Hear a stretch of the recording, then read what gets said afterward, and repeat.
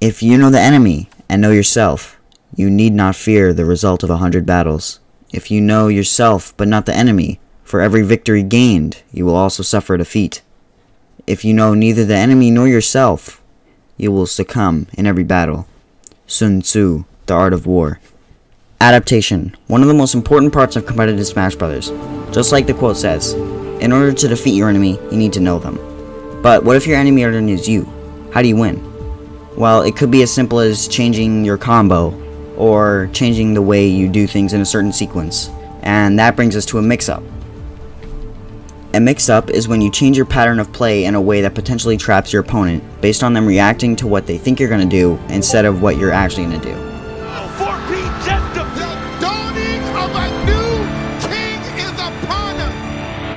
Hello everybody, my name is Spectre and welcome back to another video on my channel. Today uh, is a requested video, actually I got requested this video a while ago.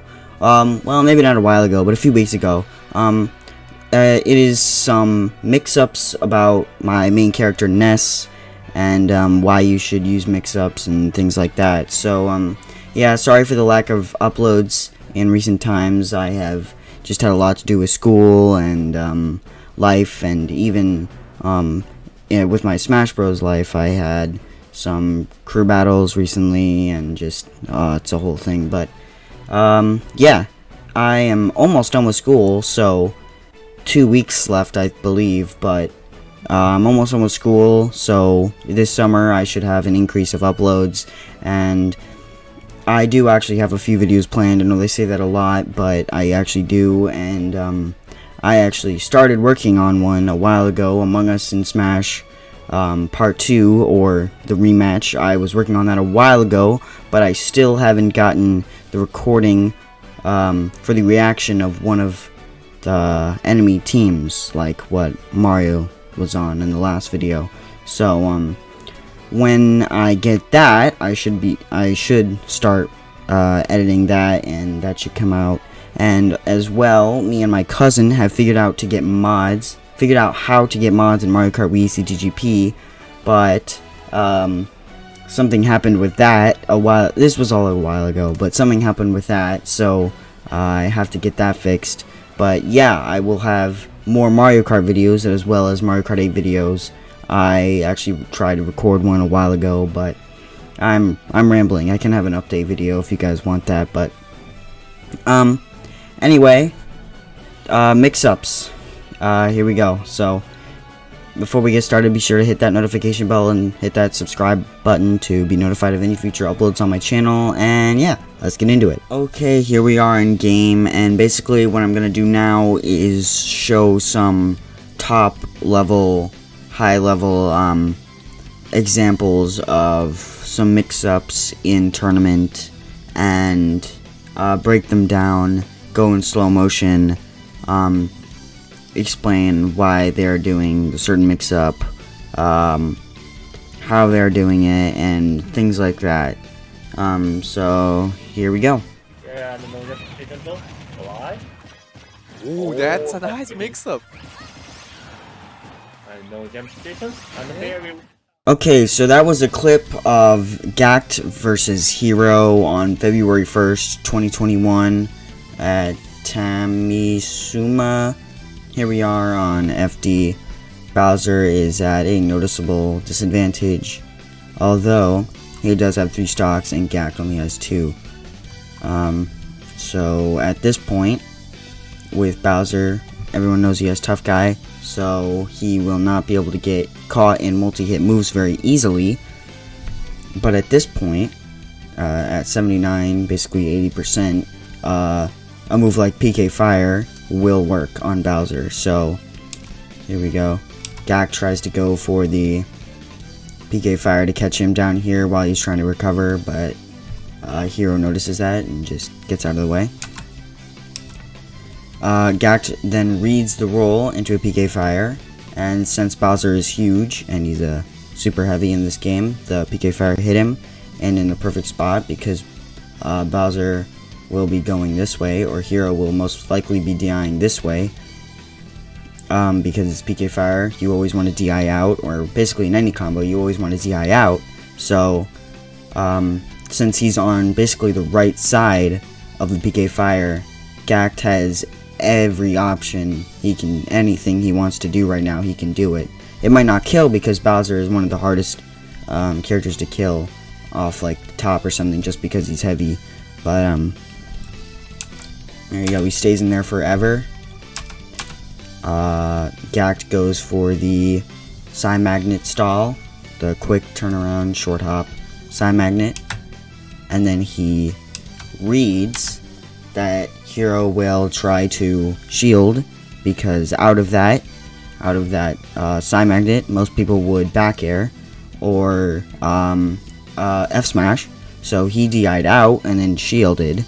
But uh, Gackt went for the grab instead which was a Greet mix-up and also a um, DI mix-up I guess because the DI um, the angle from forward air, forward throw to back air is different by quite a lot. So then he reads the jump, and at this point, Hero doesn't really have anything to do. He air dodges, so he he uses his air dodge. Uh, he doesn't have a jump because he just used it trying to get uh, trying to recover high. He's at 137, which even as Bowser, almost anything Gackt does will kill because Ness's all of Ness's moves are super strong. So all Gackt needs to do is drop down forward air, and that's exactly what he does. And he kills him off the side at 145. Right, that was clip number one done. Gackt versus Hero. Um, the PSI Magnet into turnaround grab. Um, so like I said in my uh, first tutorial video, um, there are many, many different ways to use PSI Magnet uh, not only in attacking because it has a set hitbox, it leads into any, many combos. It's a combo starter combo. Uh, you you can gimp characters with it. You can just screw around with it. You can have uh, an almost infinite.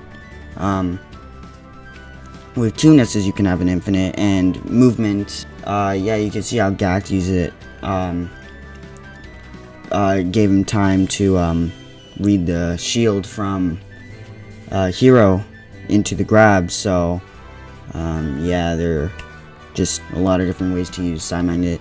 Um, so that was clip number one, and now we're going to head into clip number two. Psystalls have been mixing up his timing a lot, and that's been so crucial because Ness is pretty flowcharty oh on that. Oh I can't God, believe Austin! Huh? Forget timing mix-ups. This guy's mixing up the, your your world Okay, here we have Trella vs. Austin, December 22nd, 2018. This is a grand final set, and as you can see, Trella got destroyed on his second stock. Um, after taking the stock, Austin knows he's at a high percent, so he tries to get away from Ridley fast, and he catches him in a PK Fire, and since Ridley, I've been told, has the biggest hitbox in the game, even here, at 0%, he's going to DI out. But many people at a lower level, these guys aren't low levels, these guys are really amazing at the game, but at even at a higher level, it you just want to get out of PK fire as fast as you can so you roll. And Austin read that and he caught him in another PK fire and that first PK fire already did like 12 to 13 damage and then this one did got him to 30 and then he did another one which at this point he couldn't have done anything. He was to die. Unless he air dodged, but then Austin could have just uh, caught him with anything else. But yeah, you can see how big Ridley is. That little foot right there. I mean, that was just a blowout stock. Zero, uh, zero to death.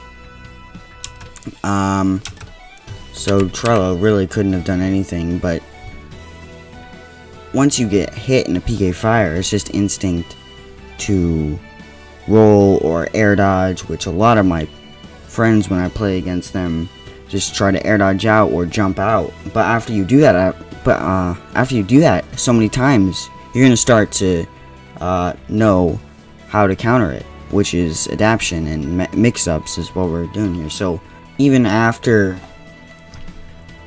uh, Trella got killed, he comes back uh, Austin saw that he was doing that, charging that F smash, so he had perfect time to um, use that PK Fire while falling, and then he can do another Rising PK Fire just because Ridley's so big. And then, Trella doesn't learn from his mistake before. He rolls again. Maybe it was trying to throw him off because he probably thought Austin would have uh, tried something different. But Austin still sees that. Um, and he goes for the grab. Which against Ridley, especially at that percent, what percent? Um, around 20? Yeah, tw around 20% against Ridley. He can easily up air. He can up air chain or PK Thunder chain or um, just do a simple fair combo. But he um, he does short hop PSI Magnet, which I don't think that was the best option, but whatever.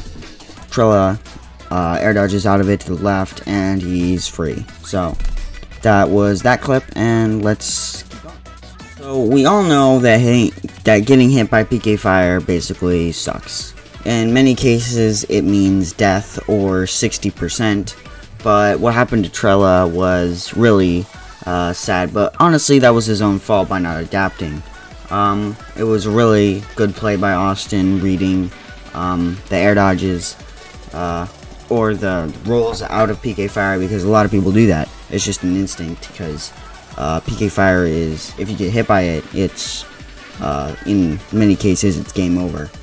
That's about all I have to touch on for this uh, clip, so let's head on to the next one.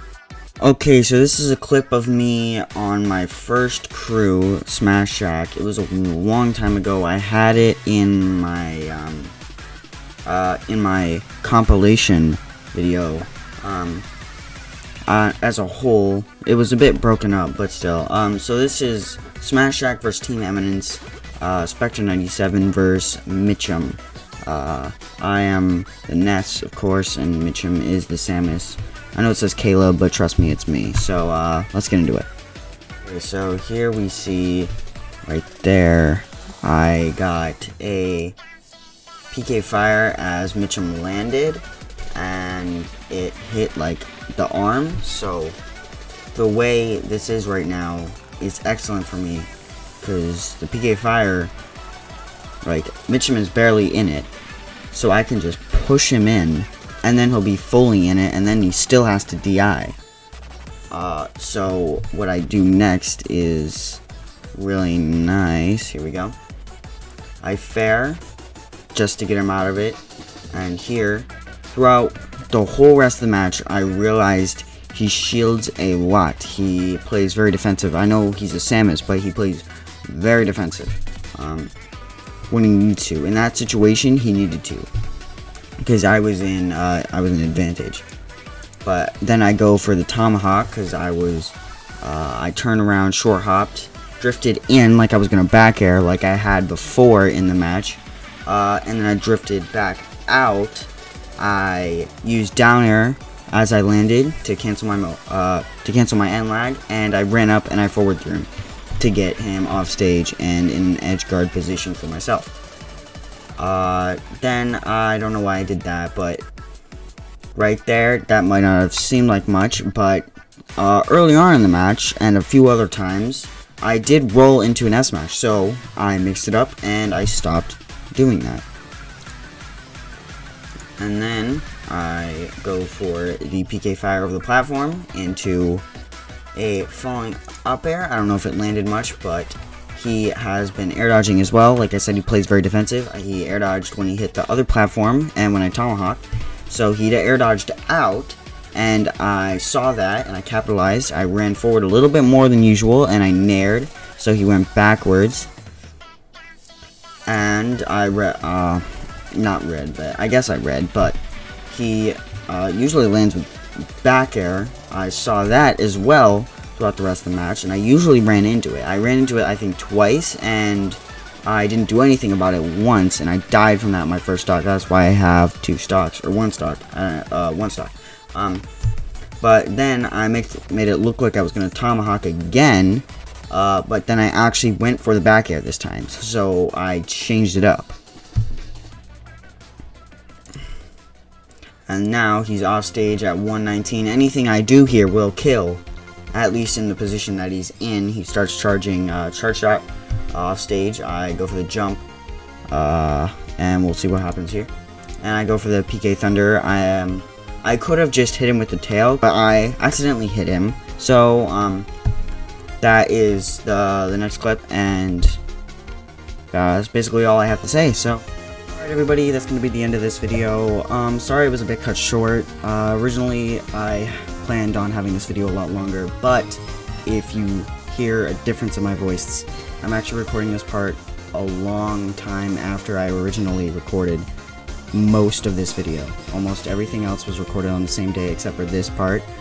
Uh, this video has been put back for a long time, um, but anyway, I finally got around to it, to finishing it, and I do have other videos that have also been pushed back, mainly um, Among Us and Smash Part 2, the rematch, and I am going to be working on that video, um, finishing it this week, hopefully, um, but I just finished a very stressful week of school, so hopefully that's behind us now, um, but anyway, yeah, that's going to be the end of this video, guys, thank you so much for watching, uh, if you liked it, be sure to like, comment, share, subscribe, and peace!